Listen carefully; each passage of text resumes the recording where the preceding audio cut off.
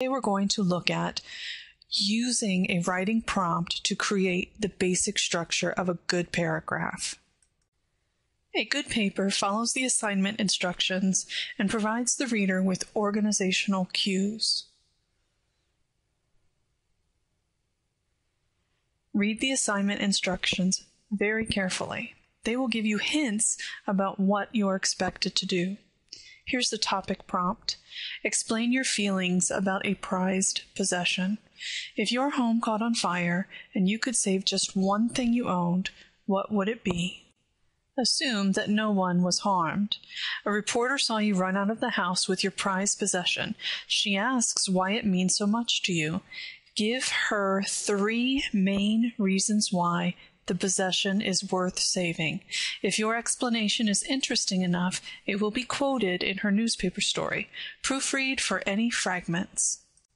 The key words here are give her three main reasons why.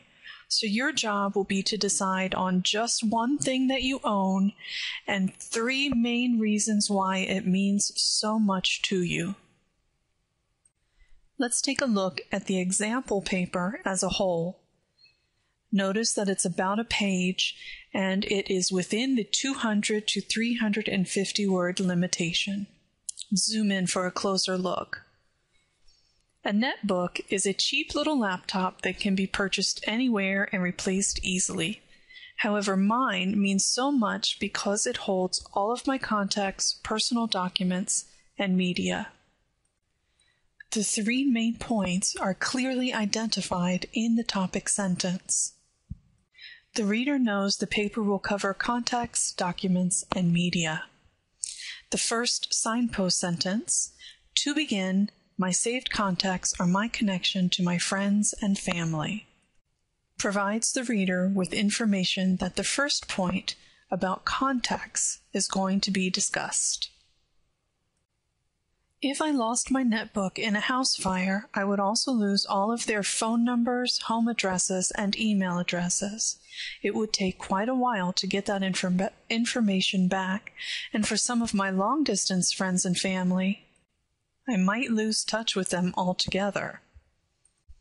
The second signpost sentence lets the reader know that we're moving on to the second main idea. Another reason I value my netbook so much is that it holds my documents. Notice that the word documents is linked up to the word documents in the topic sentence.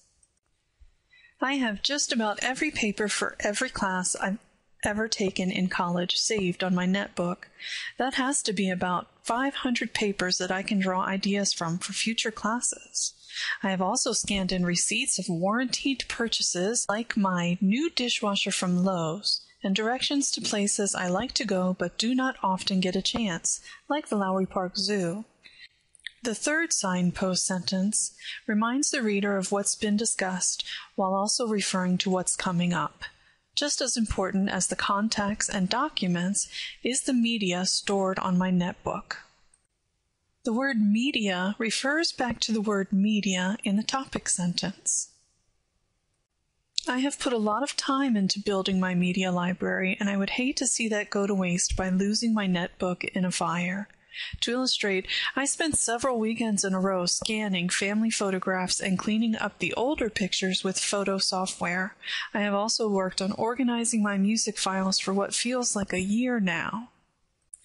The last two sentences here provide the conclusion. Although it may not be sentimental, my netbook is my most prized possession. Notice that the actual words from the prompt are used. The final sentence here refers back to the topic sentence and reminds us of the three main points, but using different words. It helps keep me in touch with family and friends, stores all of my important documents, and provides me with hours of entertainment. The term family and friends refers to contacts. My important documents refers to, obviously to documents, and hours of entertainment refers back to media.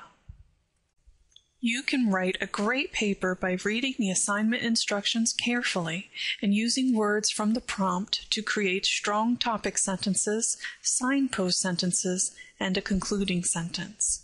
Thank you for viewing this podcast. For additional information on the same topic, check out our podcast on example number two. For additional help on any of your writing assignments, stop by a writing lab at one of the Learning Support Commons locations.